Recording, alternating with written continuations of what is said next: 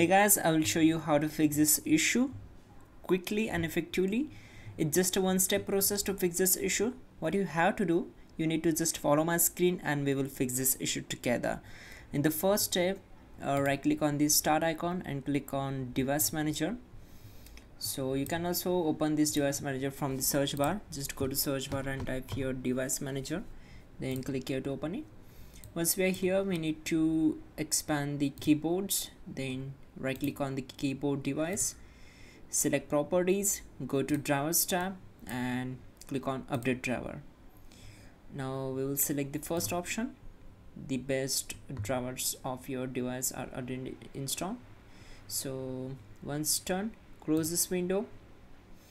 Then simply go to services tab open it and we need to update the you know enable the windows update. So this will fix the issue quickly.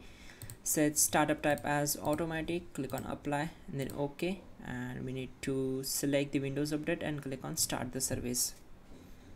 Once done click on restart the service and there we go.